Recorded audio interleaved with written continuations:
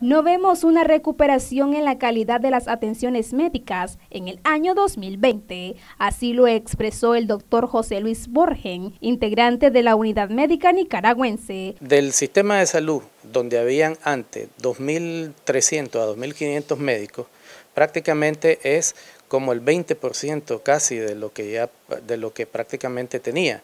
Esos médicos están siendo reemplazados por médicos recién egresados que tienen muy poca experiencia laboral. Incluso este, no han repuesto las plazas médicas de subespecialistas. Y entonces eso está aumentando la lista de espera de pacientes que tienen problemas complejos de resolución quirúrgica y hay hay lugares donde no hay especialistas específicos. Por ejemplo, en Estelí, donde prácticamente despidieron a todos los otorrinolaringólogos y hasta el momento no lo han eh, repuesto. Eso hace que la presión sobre los hospitales de Managua aumente. La respuesta del gobierno es sobrecargar el trabajo a los médicos que todavía tiene. Aparte de eso, al Ministerio de Salud prácticamente le redujeron parte del presupuesto para el próximo 2020. ¿Eso en qué va a incidir?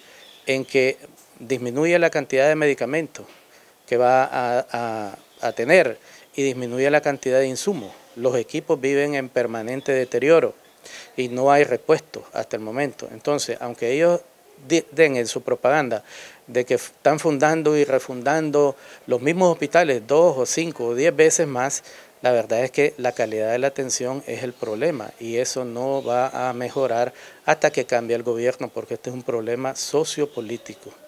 Borgen asimismo denunció el asedio que sufren los doctores en distintos centros hospitalarios. Y entonces ya hemos tenido denuncias de que en los hospitales ya aumentó el asedio y la vigilancia contra los médicos y trabajadores que son catalogados como disidentes del partido de gobierno. Pero la vigilancia ahora está incluso hasta algunos que eran simpatizantes del Frente Sandinista, pero que no comulgan con la doctrina del orteguismo, ¿verdad? Entonces, ¿cuál ha sido el problema?